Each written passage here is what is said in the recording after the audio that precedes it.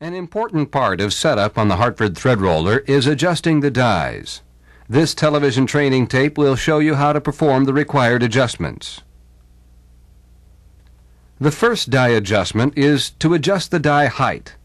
This adjustment consists of changing the packing under the moving die until the top of the moving die is level with the top of the stationary die. If one die is higher than the other, the blanks will be rolled with uneven pressure. This will cause unacceptable threads under the heads. To check die height, disengage the starter finger and jog the ram to the end of the return stroke. Use a straight edge to determine whether the tops of the dies are flush.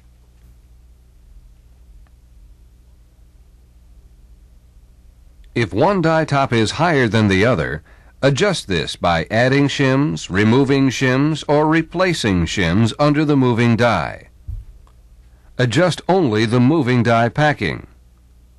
The top of the stationary die must remain level with the feed rails and the starter finger. There are two precautions which you must observe as you adjust die height. First, be sure the top of the moving die is above or even with the top of the wear plate on the ram.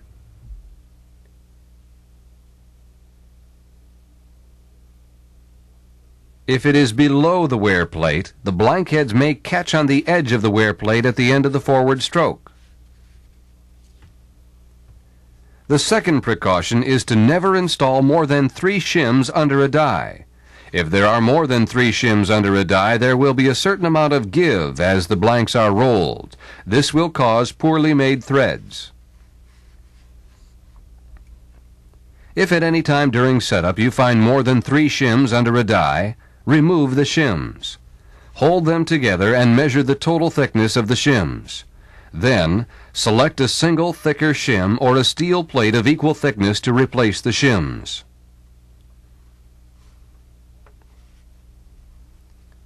Adjust the die packing under the moving die until the tops of the dies are flush.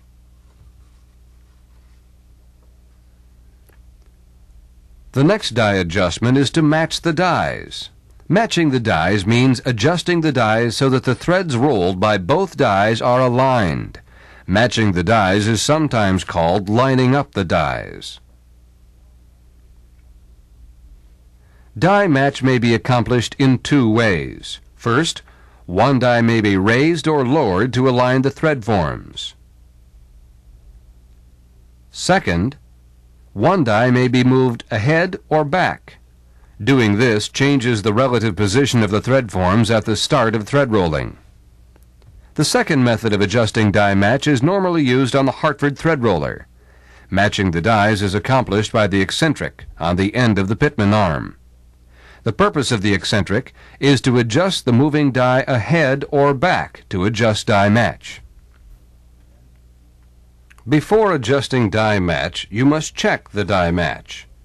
Checking the die match will determine the direction of adjustment that is required. To check the die match, engage the starter finger. Place a blank in the bottom of the feed rails. Jog the machine until the starter finger is completely retracted. Then jog the ram forward until the blank has turned about one half of a revolution. Make a mark on the blank head on the side facing the stationary die. Now you must roll the blank back out of the dies. Retract the starter finger so that it does not push against the blank. Since the ram cannot be jogged in reverse, hand crank the blank back out of the dies. When the blank is released from the dies, remove it. Inspect the blank. You will see two sets of grooves on the blank. The two sets of grooves will be aligned if the dies are matched. Dies which are not matched will produce grooves which are not aligned. The grooves made by the moving die will be to the left of the mark you made on the head of the blank. On this blank, the grooves on the left are slightly lower. Therefore, the moving die thread forms are too low and must be raised. This is the draw bolt.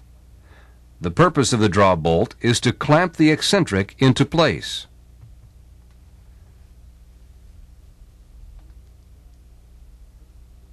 To adjust die match, first loosen the draw bolt. Marked on the eccentric is the letter L and a letter R. If the eccentric is turned toward the letter L, this will have the effect of lowering the moving die thread forms. If the eccentric is turned toward the letter R, this will have the effect of raising the moving die thread forms. Use a tool like this, which is called a timing wrench, to turn the eccentric. Turn the eccentric in the appropriate direction. Then tighten the draw bolt.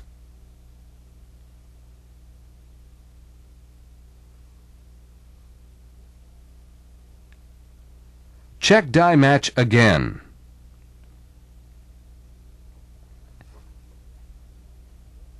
Continue to adjust die match until the grooves which are formed are perfectly aligned. The next adjustment is to fine adjust die squeeze. After the dies were installed, they were rough adjusted until the blank fit snugly between them. Now that the dies are matched, you must fine adjust die squeeze until the dies produce threads within tolerance. The reason for starting with a minimum amount of die squeeze, then gradually increasing it, is to prevent overloading the dies. Overloading means rolling blanks with too much die squeeze. Here you can see a screw which was rolled with too much squeeze. Overloading forces too much material into the die thread forms. Overloading will damage or break the dies or damage the machine. As you fine adjust die squeeze on gimlet point dies, you must check the cutoff clearance. This is the cutoff edge on a gimlet point die. The cutoff edges cut off the excess blank material as the gimlet points are formed. To check the cutoff clearance, hand crank the ram until the cutoff edges are opposite each other. Watch the cutoff edges to be sure that they do not hit each other. Slide a piece of 6 thousand shim stock between the cutoff edges of the dies. There must never be less than 6 thousandths of an inch clearance between the cutoff edges of gimlet point dies. Having less than 6 thousandths cutoff clearance could allow the cutoff edges to strike each other. This will damage the dies. The fine die squeeze adjustment is done with the slide housing lock screws snugged down. In order to be sure that the slide housing lock screws are just snug, first loosen the lock screws. Then retighten them using light pressure.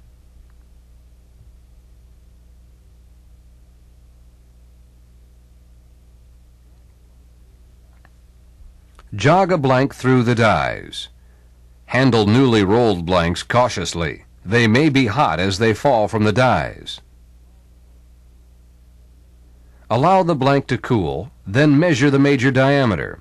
The major diameter will be below tolerance on this blank. Loosen the lock screws, then turn the die squeeze adjusting nuts clockwise to increase die squeeze.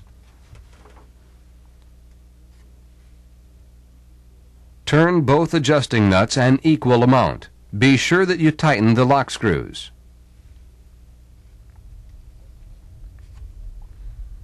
Thread roll and measure another blank.